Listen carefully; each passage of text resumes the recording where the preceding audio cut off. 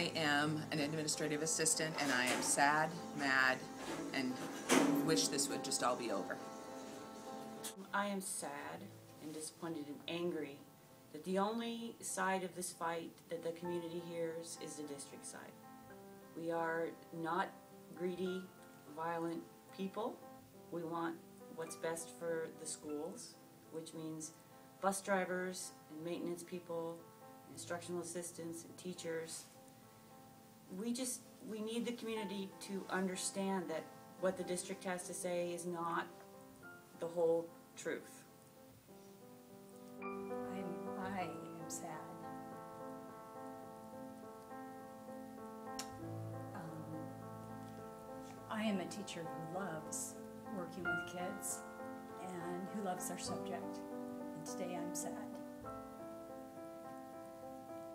I am frustrated at the lack of common sense of requesting a three-year contract with two-year clauses. I'm disappointed in going back on your word and not following through the, with the promises to those who are getting ready to retire. And I'm angry at being misrepresented that I don't work or I need more money. I donate on average 50 days beyond any contract I have. And based on my own payroll, that's $10,000. Based on Dennis Richardson, it's $140,000. It's not about the damn money. I'm very disappointed in the district's misrepresentation of my job and how I do it. I am disappointed. I agree, and I am sad. It's a sad day for all of us here at Eagle Point High School. If we get through this quickly and, and get back to education. I'm Brittany Richmond and I care about my students. I'm Sarah Sievert, and I through this very quickly. I am disappointed in the district office. I am so sad that it came to this point. I'm angry, I'm frustrated, this whole thing sucks. I am frustrated by the lack of uh, honesty on the part of the administration and district in this struggle, and I am sad to I am incredibly sad that people have been unable to disagree and not still be good moral people. And I'm really sad at the attacks on teachers and on our profession. And I'm just really sad that leadership thinks so low of their teachers and their staff. I am teacher Roger Kubika, and I am missing my students. And I am wishing I was sitting here writing their college scholarships and their letters of recommendation to attend college at this time. I am upset, and I hope this resolves soon. Thank you. Okay, I'm just very sad. I don't like doing this. That's it. I am a mom who, with a to be able to teach my children um, about honesty and integrity. And I am mad that that there is that there are people out there who are not honoring that and respecting that, so we can educate our children properly. I'm willing to go on strike tomorrow because I am standing up not just for myself and my colleagues, but for my students, for my own child, for the health of education in this country.